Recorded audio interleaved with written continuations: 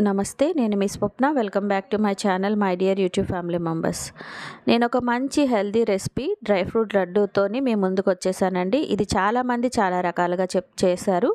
నేనైతే ఈరోజు ఒక మంచి చిన్న టిప్తోనైతే మీకు ఈ డ్రై ఫ్రూట్ లడ్డూని చేసి చూపిస్తాను. టేస్ట్ అయితే చాలా బాగుంటుంది. రోజుకు ఒక లడ్డు తింటే చాలండి మన శరీరానికి అందాల్సిన ప్రతి విటమిన్ కూడా అందుతుంది. ఆ చిన్న టిప్ ఏంటనేది మీకు నేను చేసేటప్పుడు చెప్తానండి. ఈ లడ్డూని మీరు కూడా ఒక్కసారి ట్రై చేసి చూడండి. మెత్తటి ఖర్జూరాన్ని నేను ఒక కప్ అయితే తీసుకున్నానండి. ఆ కప్పుతోటి హాఫ్ కప్పు పుచ్చగింజలు హాఫ్ కప్పు బాదము హాఫ్ కప్పు తెల్ల నువ్వులు హాఫ్ కప్పు కాజు హాఫ్ కప్పు పిస్తా అలాగే హాఫ్ కప్పు కిస్మిస్ హాఫ్ కప్పు ఓట్స్ కూడా తీసుకున్నానండి ప్లెయిన్ ఓట్స్.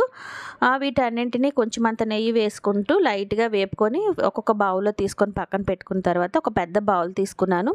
ఇందులో నేతిలో వేపుకున్న క్రిస్మిస్ అలాగే గ్రైండ్ చేసుకున్న కాజు పౌడరు పిస్తా పౌడరు బాదం పౌడరు ఇలాగే తెల్ల నువ్వులు అలాగే కొంచెం అంతా ఫ్రై చేసుకున్న ఓట్స్ కూడా వేసుకుంటున్నానండి. అలాగే ఖర్జూరాన్ని ఈ విధంగా మిక్సీ జార్లో వేసుకొని పేస్ట్ చేసేసుకున్నాను.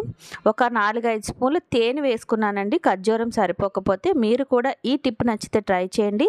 మనకి ఖర్జూరం కన్సిస్టెన్సీ సరిపోకపోతే ఈ విధంగా మనం తేనె వేసుకొని కలుపుకుంటే లడ్డు అనేది పర్ఫెక్ట్గా వస్తుంది.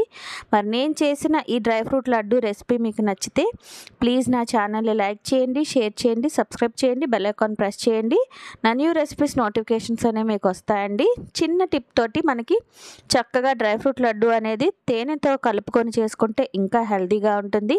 మరి నేను చేసిన ఈ లడ్డు రెసిపీని కూడా మీరు కూడా ట్రై చేసి ఏ విధంగా వచ్చిందో కామెంట్ చేయండి. నన్ను నా ఛానల్ సపోర్ట్ చేయండి. మరొక కొత్త రెసిపీతో మళ్ళీ కలుస్తానండి. అంతవరకు సెలవు. నమస్తే నేను మిస్ స్వప్న